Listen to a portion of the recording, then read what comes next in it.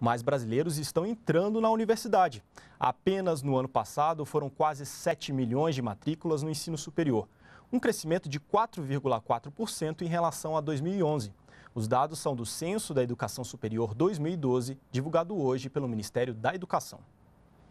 Em 2002, havia 7 milhões de estudantes cursando o ensino superior no Brasil, o dobro do número que foi registrado em 2002, de 3 milhões e meio de estudantes. O Brasil cresceu, está gerando mais oportunidades de emprego e os trabalhadores sabem, o Brasil precisa que eles estudem, se profissionalizem, tenham mais capacidade.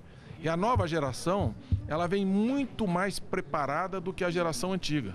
Hoje, eh, os jovens de 19 a 25 anos, 17,5% aproximadamente estão na universidade. As escolas particulares têm o maior número de matriculados, mais de 5 milhões. Mas nos últimos 10 anos, o número de alunos em instituições públicas cresceu 74%. As novas universidades elas foram criadas em regiões distantes, no Vale do Jequitinhonha, no interior da, da Amazônia, em regiões do interior do, do Nordeste brasileiro, na fronteira sul. Milhares de jovens brasileiros que antes tinham que se deslocar para os grandes centros e hoje eles já podem fazer, cursar uma universidade de boa qualidade em suas regiões. O censo também mostrou que o acesso ao ensino superior no Brasil está mais amplo. De acordo com os dados, existem hoje mais estudantes negros e de baixa renda cursando a universidade. Há 10, 20 anos atrás, os pobres não chegavam na universidade.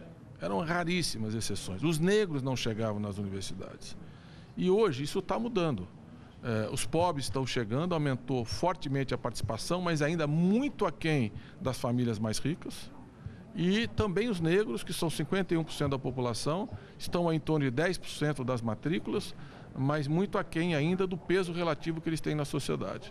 Os indígenas também melhoraram sua participação. Enfim, a política de cotas, que dá uh, um espaço novo para os estudantes da escola pública, para as pessoas de baixa renda, para os negros, ela é necessária para a gente diminuir os desequilíbrios sociais e raciais que existem no Brasil. As atuais políticas de educação vêm mostrando que era um Brasil possuidor de uma grande potencialidade e com esse acesso à universidade. Então, essa potencialidade começa a ser revelada. Isso aí tem um, um enorme impacto socioeconômico de médio e longo prazo. Ou seja, isso torna o país mais competente.